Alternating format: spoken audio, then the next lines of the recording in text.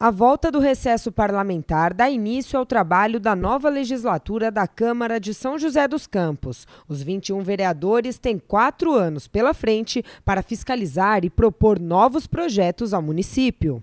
Nós da TV Câmara viemos às ruas do centro da cidade para ouvir da população se acompanhar o trabalho dos vereadores é um hábito comum.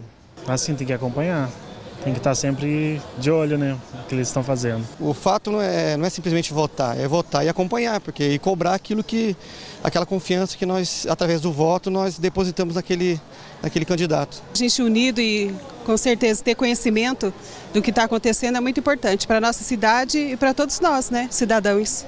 A gente acompanha para ver o desempenho deles, a, a pontualidade deles, né, a eficiência deles e principalmente no que eles prometeram, porque quando eles fazem uma campanha e prometem, eles têm que ter base no que eles estão falando, eles têm que ter uma projeção. Acompanhar o trabalho dos vereadores está cada vez mais fácil. Além de assistir às sessões da galeria do plenário, o cidadão também tem acesso a tudo o que acontece aqui na Câmara através da internet.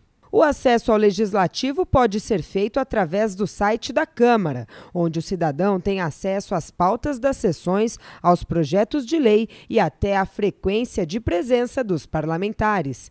A Câmara também está nas redes sociais. No Facebook são publicadas as principais notícias aqui do Legislativo. No Twitter, o internauta acompanha em tempo real tudo o que acontece nas sessões plenárias. Já no Instagram, é possível conferir os clipes cliques dos fotógrafos profissionais do setor de comunicação. E na TV Câmara, através do jornal Diário Legislativo, nossos telespectadores acompanham os principais assuntos debatidos pelos vereadores e tudo o que acontece aqui na Câmara. É possível assistir pelo canal 7 da NET ou pelo canal 9 da Vivo TV.